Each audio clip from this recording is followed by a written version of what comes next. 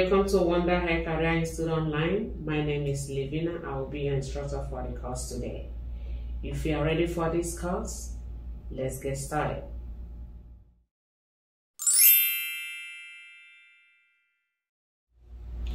The CNA examination has two parts, the written part and the clinical part. The clean, uh, written part has 60 questions and you have to take it within 90 minutes. You can take it at home, which is called remote proctoring, or you can take it at the testing centers. The clinical skills test consists of five skills. The five skills consist of three assigned skills and two additional skills.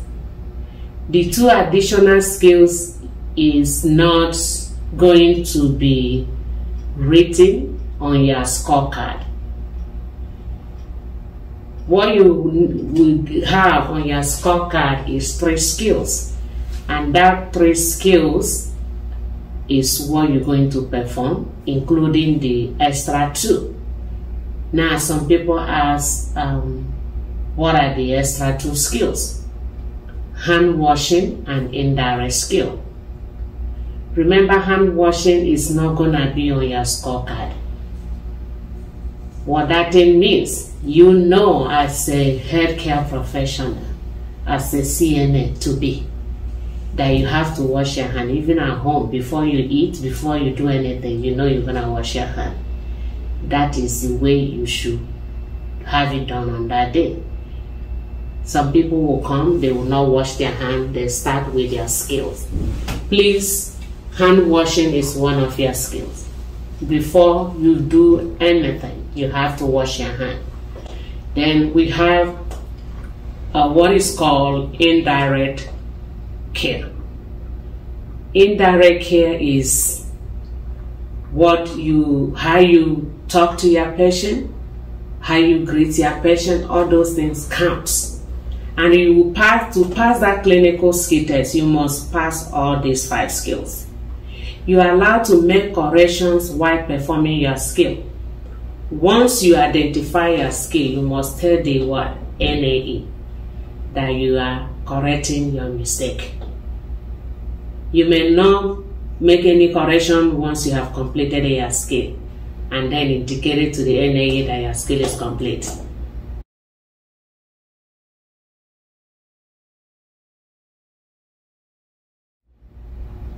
Now, the skill is timed and it depends on the particular skill you are asked to perform. Clinical skill test timing. The time for the clinical skills test varies depending on the type of skill you are asked to perform and the time ranges from 31 to 40 minutes. The time frame ranges from shorter to longest time, depending on how long it takes to complete that particular skill. Some students ask um, uh, the skills, um, how do we know how many minutes we need to take or we need to do these skills, whether the, the skills are assigned the, the same time. No. Depending on how long it takes to complete a skill. Let's say, for example, pericare you know it's gonna be take it's gonna take longer time than range of motion. So the time assigned for those skills differ. So the skills that is grouped under shorter time, this between five four to five minutes are range of motion hip, knee and ankle, range of motion elbow, wrist, range of motion shoulder, ambulation, taking pulse and respiration.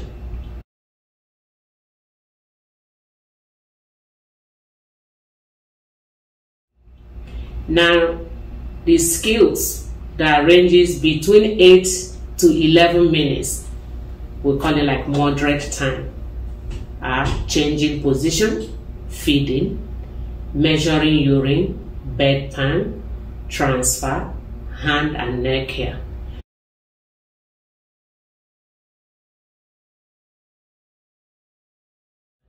Now we have those longer time, the skills that take longer time to complete between 12 to 15 minutes. And we have mouth care, brushing uh, patient teeth, foot care, mouth care with the dentures that, you know, dental care, dressing, changing occupied bed, and catheter care.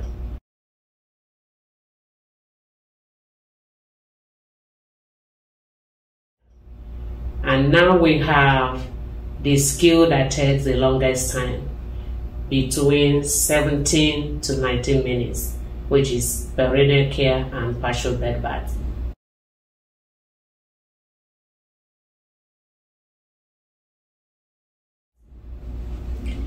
The total time for completion of the assigned skill includes three skills, three minutes, sorry, for hand washing, which candidate are expected to perform at the beginning of the first skill.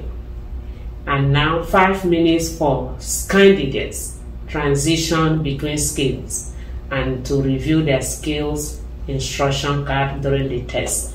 So what that thing means, remember I said on your instruction card, you will only see three skills written on that instruction card.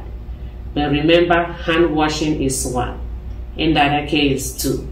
Now, with the 3 you have on your scorecard, making it what? 5. When I counted, when I mentioned the time it takes to complete the skills, I did mention what? Hand washing. But hand washing actually uh, takes about 3 minutes to complete, so have that one in mind. When you finish one skill, you want to transit from one skill to the other. That time you taking to read your instruction and then to go for the next skill is five minutes. So all these things um, is counted towards the total minutes that you're supposed to have to complete your skill. So the three assigned skills, hand washing, an indirect care skill must be completed in the allotted time. The timing of the test ends either when the candidate say that I am done at the end of the third skill or when the time expires. Example of what I'm saying is this again. Hand washing is 3 minutes plus skill number 1 plus again skill number 2 plus skill number three plus transition time. Everything is total, the amount, the um, time you have to spend for your skill. And remember I said the time range is between 31 minutes to 40 minutes.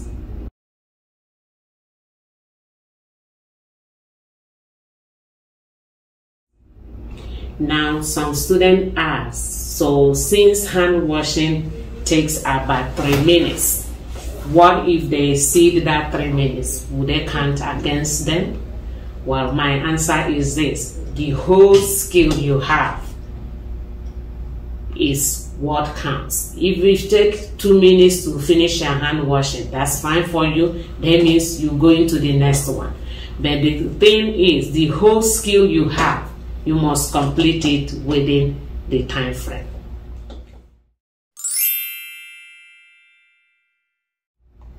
Now we're talking about what indirect care.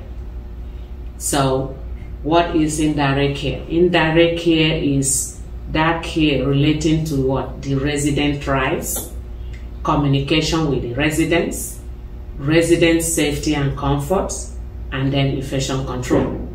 With the exception of hand washing, we evaluated on indirect care skill during the performance of every skill during the clinical skills. During this skill exam, the evaluator will uh, evaluate you on the following indirect care. When you go in inside your resident room to take care of your resident, you want to make sure you greet your resident, you introduce yourself, you address yourself by name all these things are what? Indirect care. You want to provide explanation to the resident about care before you begin and during what? The care. You want to ask residents about their preference during the care. You want to use standard precaution and infection control measures when you are providing care. You want to ask residents about comfort or needs during care or before care is completed. You want to promote resident rights during the care and you want to promote what? Resident safety. We're going to talk about a little bit of this, you know, when we come to um, the skill practice. Indirect care relating to what? The resident rights. If you want to go to your patient's room, what is the first thing you need to do? You want to make sure you knock on the door. You want to knock on the door so that your patient will know that you are coming. Now you want to greet your patient by name, introduce yourself by name and title. You want to provide privacy by closing the privacy curtain and or door before providing care. Though some skills do not necessarily require closing the privacy curtain, but student may choose to provide privacy. Such skills are what? Ambulation, feeding, hand and nail care, measure and record pulse, respiration and transfer. My, my, my student asked, why, how do you know which one to provide privacy or not? My answer to that question is provide privacy unless the patient say no. You're not going, you're not gonna go wrong if you provide privacy when you're you know doing all this care. But what if you forgot? Oh, I, I can't remember is this care or that care? Now you miss the ones that you need to provide uh, privacy. Provide privacy. That's my advice. Now, you want to cover your patient with what? Bath blanket during and at the end of some of the skills. Example, use of bedpan, catheter care, changing occupied bed, changing of position, dressing, partial bed bath, perineal care, and range of motion, especially the one of the hip, right? Now, we done um, with indirect care relating to resident rights. Remember, when you going to take care of your patient, you want to do what? Knock on the door. Greet, uh, introduce yourself, greet your patient, tell your patient what you're coming to do those ones count. Remember, it is one of your skills. If you get the four skills right and you fail in direct care, remember, you must pass the five skills for you to get credit for this uh, yeah, skill uh, exam.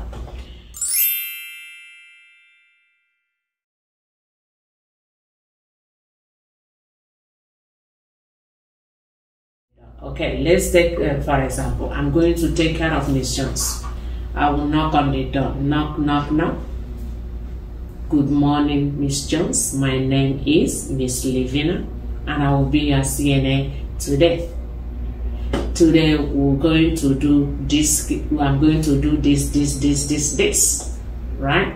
And before I do that, I want to provide what? Privacy.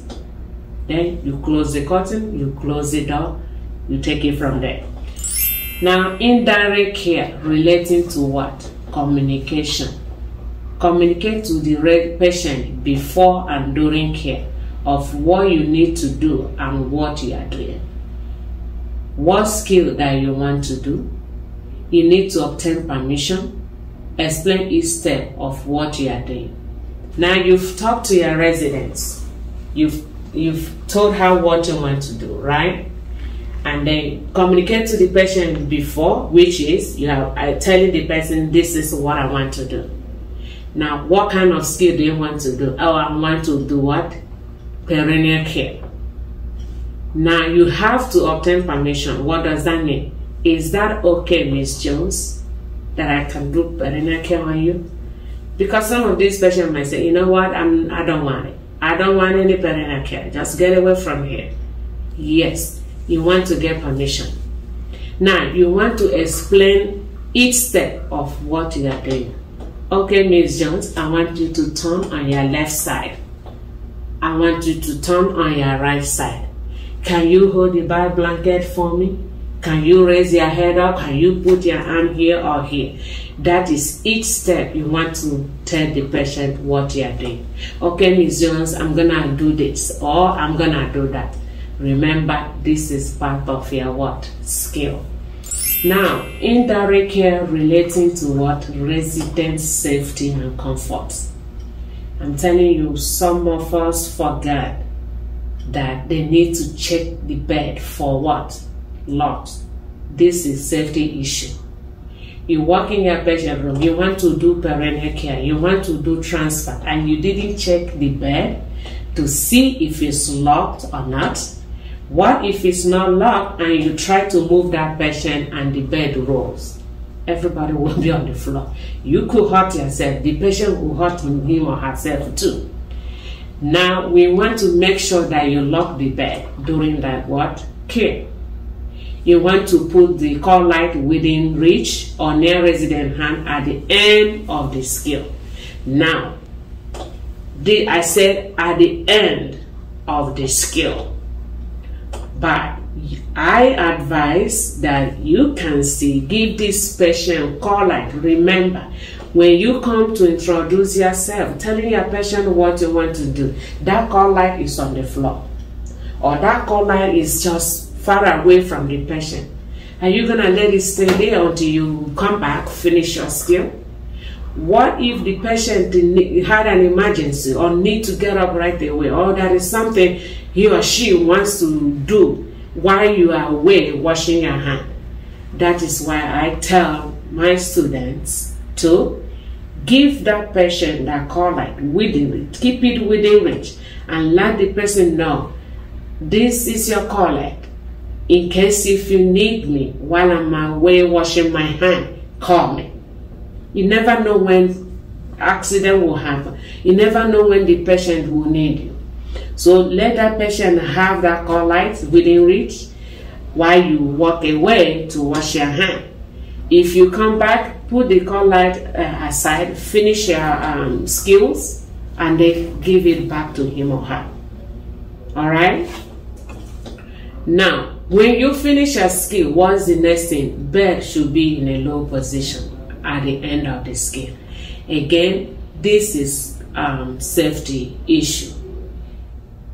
Concerning putting the bed low or high, I tell my student, if you know you will not remember to put the bed low after your skill, don't bring it up at all. But remember, you need your back. You want to make sure you are not hurting your own back when you're doing what? You know, taking uh, care of any of your patient. So, the best idea is to raise that bed up at a very good working height so that you will not be bending too low to to take care of your patient. And again you will not be what? Hurting your back. But for safety of this patient if you will not remember to put this bed down at the end of your skill remember you're endangering that patient's life. If the patient fall out of that bed, you know what will happen. So try and remember to put that bed low at the end of your skill. This is safety issue. All right. Now, comfort with the water temperature. When you are doing care that has to do with water, you know, warm water, you know. You want to make sure that you check it. You check the temperature of the water and you want to make sure that the patient checks that water also. The way you feel that water might not be the same way the patient will feel about it. So you want to make sure the person check it and tell you that it is okay.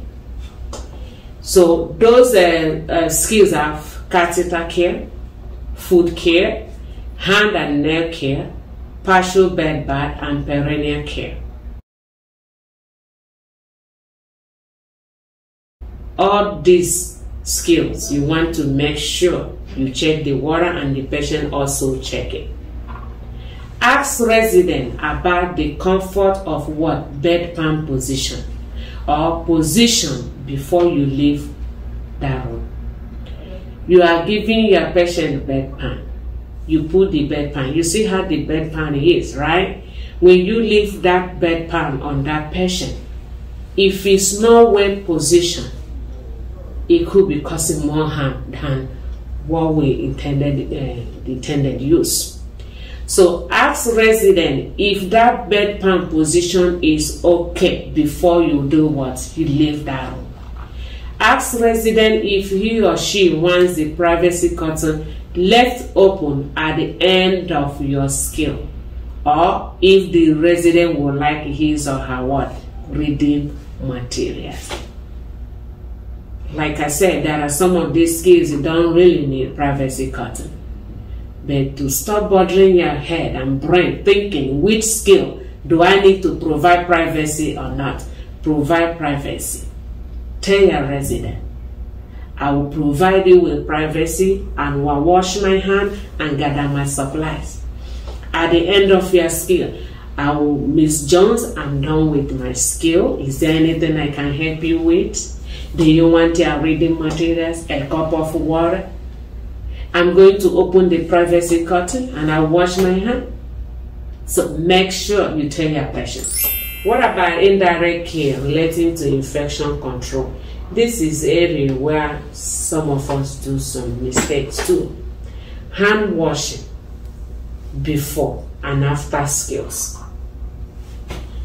Some student out of, I guess, anxiety or maybe because they didn't see hand washing on their scorecard. They think um, they are, uh, they are not supposed to do hand washing. But I think it's just anxiety related. So you must wash your hand before and after each skill. You want to make sure you wash your hand before you touch that your patient. The, before you put on your glove, you want to make sure you wash your hand.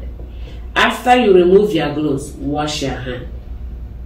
Some student ask, but why why should we wash our hand if we have to continue with the skill after you remove glove? Yes, you have to. Do you know what has entered into that glove and get in touch with you that you don't know? What if that glove is that kind of glove that is powdered? For example, you remove it and you have powder on your hand. Are you to use the powdered hand to continue your care? Let's say you have your powder, remove your glove, your hand is powdered, right? And Miss Jones say, oh, please, could you give me a cup of water? Then you use uh, powdered hand and give Miss Jones a cup of water. You must wash your hand after you remove your glove. Now, avoid placing bedpan directly on the what? Over bed table. Over bed table, that's your working station, working site. Remember, over bed table, this patient use it for, you know, that's where they use as their um, food trays when they are eating and everything. Bedpan is bedpan. You know what it's used for. Don't put it on over bed table. Avoid holding clean or dirty linen against your clothing. Avoid placing linen directly on the floor. Avoid holding pillow fully against clothing. Avoid shaking linens. Avoid placing linen directly on the floor except when used as a barrier during foot care. Remove gloves without contaminating self all these things the NAE will observe. Don't think that the only skill you are doing is making bed, feeding patient. You must observe these infection control measures.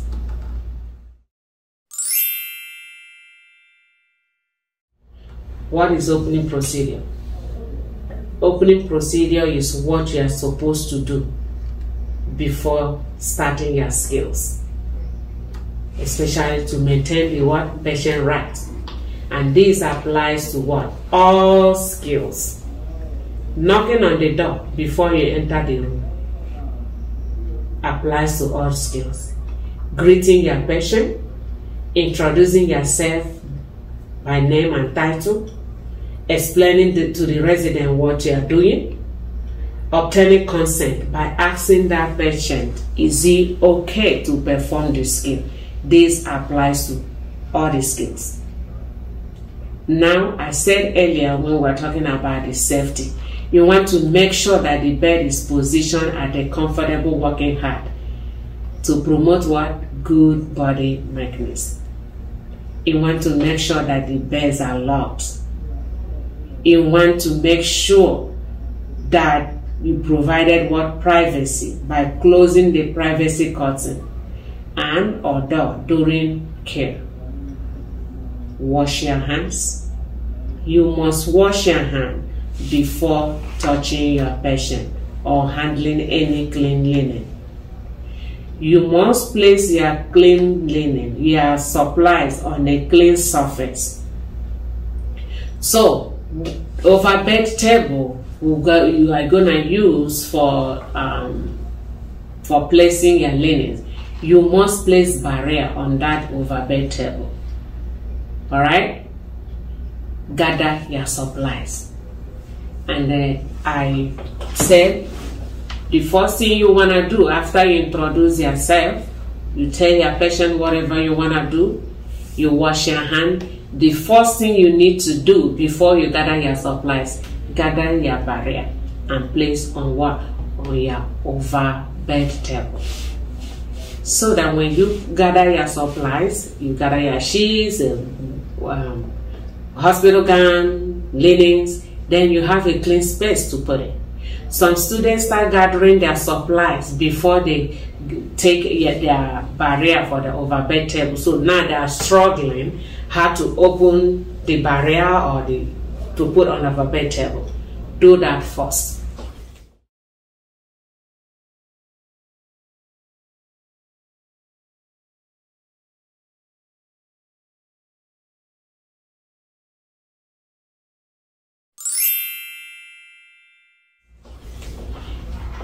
When you finish your skill, you do what is called what? Closing procedure. What is closing procedure? When you finish your skill, always perform a closing procedure to maintain what? The resident's safety and comfort by making sure that the environment where you work is clean. Make sure you clean your mess right? Wheelchair locked if the patient is sitting on a wheelchair. Bed locked after each skill. The call light must be within reach at the end of your skill. Bed in a low position at the end of your skill. Ask your resident about comfort by offering magazine, TV remote, water, all those things. Now, open your privacy curtain. Review your skills and make any corrections. Wash your hands. Document. If you have skills that need documentation, make sure you wash your hand before you document. You cannot use dirty hand and pick that pen, that paper to document. You must wash your hand before you do what? You document. Now after your skill, you want to review. Think about your skills. Did I make any mistake? Is there anything that I didn't do? If that question uh, answer is yes, tell the NAE, I made a mistake here. I want to do, I want to correct that. Okay? Don't think, oh, NAE is not seeing me. She or he is seeing you. Make your correction. Now, after your correction, tell the NAE that your skill is done.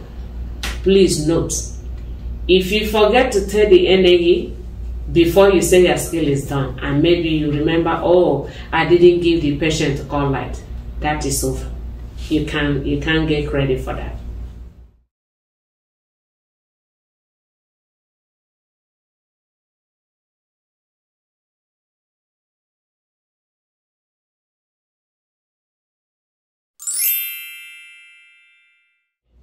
That work surface is an area where work of a particular nature is carried out.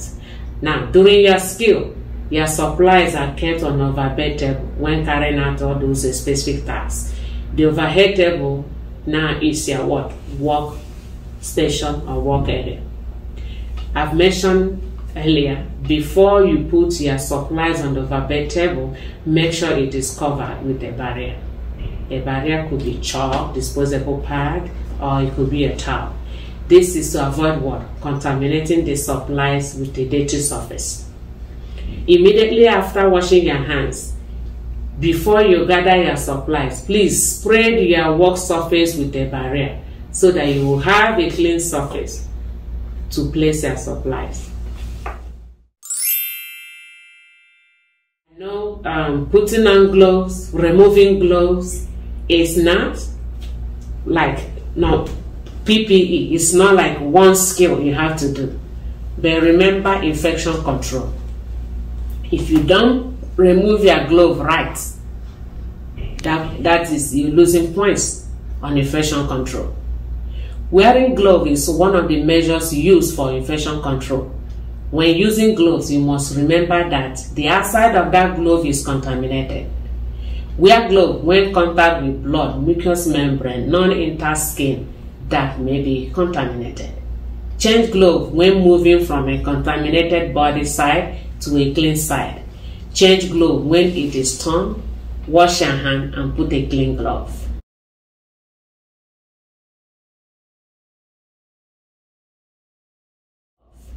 I have a question from one of my students last time asking why do we put glove on when we are making bed, occupied bed?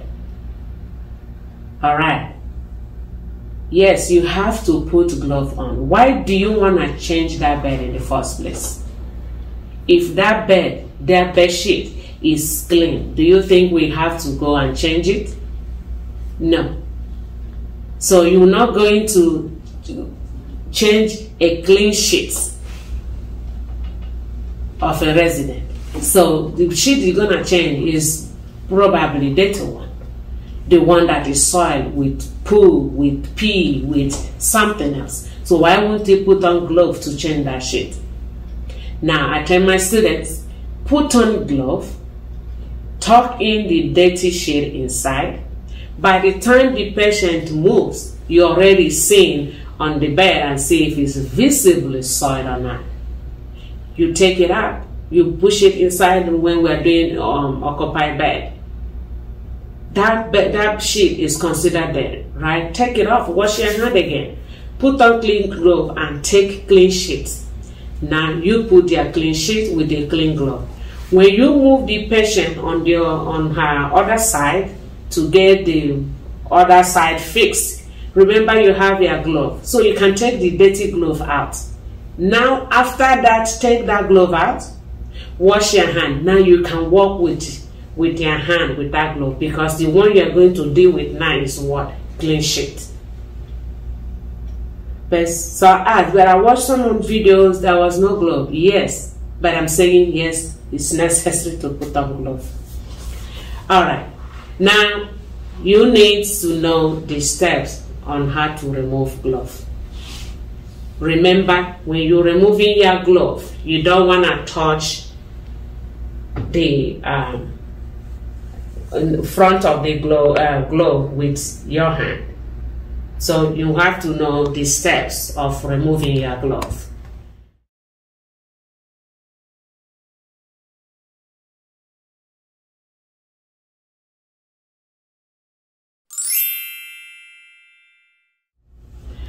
Let's talk about hand washing technique. Remember you have to wash your hand before you start your skill. As a nurse aide, you are expected to wash your hand before and after physical contact with the resident, before you put on your glove, after you remove your glove, and when your hands are visibly soiled. For the skill, you have care plan. Remember, the hand washing is not on your scorecard. Scorecard, I mean, is something like this that will have the three skills that you're supposed to do. Hand washing will not be one of them. But hand washing is one of your what? Skill. That's the fourth one. Indirect care, the fifth one. So there is no instruction for what? Hand washing. You are expected to wash your hand at the beginning of the test. Now, hand washing during this skill can be what? Simulated. Please follow instruction from what? The NAE. Like I earlier said, the time for the um, hand washing is about three minutes. You know the supplies we need, the soap dispenser where you get your soap, paper towel, trash container, and the sink, of course, where you're gonna wash your hand. When you're doing your hand washing, please don't allow your uniform to touch the sink. This is critical. If you're wearing long sleeve, which I advise anybody coming for the exam, please don't wear a long sleeve. But if you mistakenly wear hands uh, long sleeve, please push it up, push it up your arms four to five inches. If you are wearing a watch, push it up or remove it. So we already know how to do hand washing. That we're gonna perform when we're doing these skills. But what I want to talk, say about the hand washing here, you must use friction to spread soap to your hands for a minimum of 20 seconds. 20 seconds is not the whole time that you're going to wash your hand. That is the time you are using to lather that soap on your palm everywhere. This is 20 seconds. People use happy birthday. People use so many ways to count the 20 seconds. All right? This is 20 seconds, not the entire hand wash. Now you want to make sure you clean the front, the back, between fingers, cuticle, under your nails, rings, under fingers, and against your palm. Please rinse your hand. While you are rinsing your hand, keep your fingers pointing down at all times. And I tell my student, when you're drying your hand, let's say you wash your hand, you keep your hand this way and you want to dry, what happens? The water is just what? Dripping, going downward. Put your hand this way and start drying what? From the tip. Some people dry, dry from here, they go over here. Remember there are part of this hand I didn't wash. You use paper towel to go over here and go over here. Now introducing germs from this side up to the ones you've already washed. So start drying from the tip of your hand and work your way through. When you want to turn off the faucet, remember these hands are not clean. You must use paper towel to turn off that faucet. Don't allow your uniform to touch anywhere uh, around the sink. And if for any reason you have made a mistake and your hand mistakenly touched the faucet, please tell the NAE so that you either start over again, whatever instruction she gives, you have to do it. Thank you for watching today's video. I hope you enjoyed it. Um, please subscribe to the channel if you do like what you watched and turn on your notification button so you don't miss out our next video. Follow us on Instagram and we'll see you next time. Thank you and God bless you.